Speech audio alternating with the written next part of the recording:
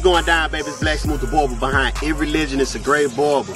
First, I want to say the best barber is the most clean barber. I'm Black Smooth the Barber. I'm a mobile barber. I'm, I'm providing curbside service. First thing foremost, when I pull up, I have a thermometer. We're gonna check your temperature, and everybody that I cut, I have to make sure that I wear gloves for your safety. Come on over. What I have here, another thing is too, I have masks. Everybody will be provided with a mask for my service. I also have Lysol. Another thing is too, I also have hand sanitizer. Another thing that I do, I do this every Monday. I call my guy Will. Will comes out, he disinfects the truck, he takes everything out and gets deeply clean. Anything you want to say, Will? Watch me grow.